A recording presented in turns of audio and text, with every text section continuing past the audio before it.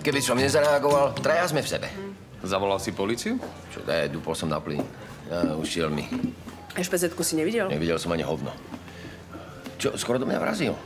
Jediné, čo viem, že to bol Čech. To ale asi nikoho neprekvapí.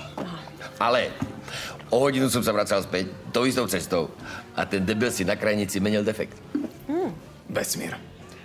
Presne. Jeho egoistické nastavenie, samolúba energia, ktorú vysielal do vesmíru, sa mu vrátila aj s výstražným prstom.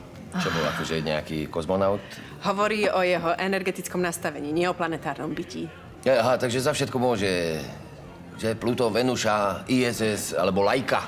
Ako sa do hory volá, tak sa z hory ozýva. Zákon príťažlivosti. Konáš dobro, dobro sa ti vráti.